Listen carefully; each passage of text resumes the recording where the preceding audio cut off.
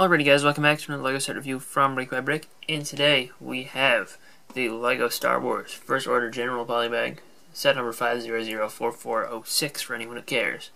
And this was released back in 2016, and was available in Toys R Us in the United States for, I believe, $4, it might have been 5 because I think Toys R Us did charge $5 for certain polybags later on in their life. I don't remember exactly what this one uh, cost to buy, but you know it's in one of the bags that has um, you know the kind of more solid plastic with only being transparent in the center of the back. And you know the polybag design itself looks pretty cool. Apparently this is also available um, with May the 4th purchases overseas in uh, the European Union. Um, but, you know, it's a decent looking uh, minifigure. And, you know, I didn't pay for this, I got it for free, so, you know, whatever. Let's open it up and take a look. So the First Order General itself is not too, like, completely special and unique looking uh, at first glance.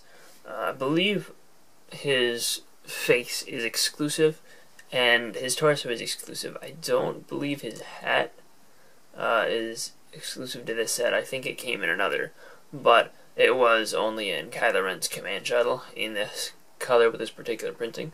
So it is not very um, easy to get your hands on. The legs are just plain black, uh, but you know the hat is a cool part. Uh, it's a nice mold. This mold has been reused, but I think it was mostly reused in gunmetal gray and not black.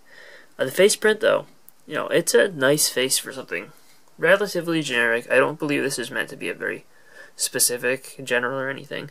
It's just meant to be one to fill out your ranks. Uh, but you know, it it looks good. I like the overall expression there. And as far as back printing on the head, obviously there's none because you would be able to see it.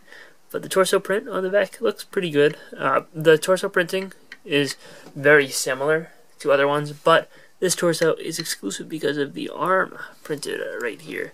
And I don't know, that's really cool to me. There's arm printing on a 2016 figure that was just in a promotional poly bag available for $4. And, you know, that's not super common. Yes, they did it with uh, C-3PO from The Force Awakens.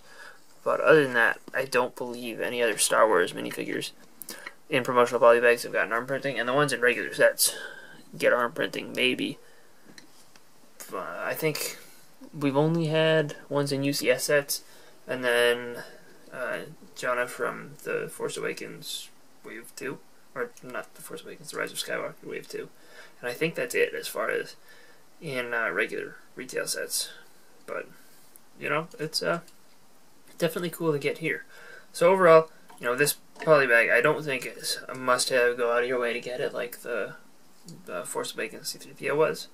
But, you know, it, it's not bad if uh, you see it. Um, for a decent price. I wouldn't uh, recommend avoiding it.